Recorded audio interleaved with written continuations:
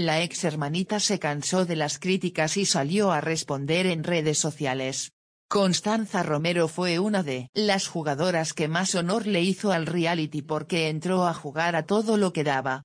Pero el público castigó su juego luego de la traición hacia las chicas, y de esa manera terminó quedando en placa en la gala de eliminación y saliendo en un mano a mano con Ariel.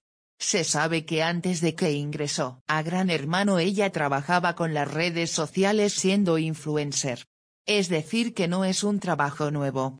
Por ello consiguió variedad de canjes y al parecer pudo obtener canjes para realizar retoques en lo que son sus dientes y un poco en la cara. La correntina de hecho subió a su Instagram el momento exacto donde se realizó el blanqueamiento dental arrobando al odontólogo que lo hizo y la clínica donde fue atendida, pero eso no fue todo, sino que también se hizo algo en los labios que no pasó desapercibidos por el público de Twitter.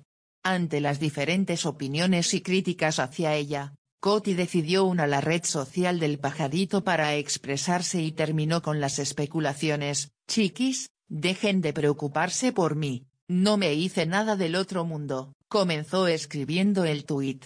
Luego agregó a H en los labios, que se va en menos de un año y es natural, y no me voy a hacer nada más, además, nunca está de más arreglarse la dentadura. Para finalizar miles de usuarios que la comenzaron a seguir desde que ingresó a la casa más famosa del país la apoyaron las reinas no dan explicaciones, Conejo con quien comenzó el noviazgo dentro de la casa fue también quien le brindó un mensaje de apoyo, todo lo que te pongas te va a quedar hermoso. No hay que dar explicaciones alguna.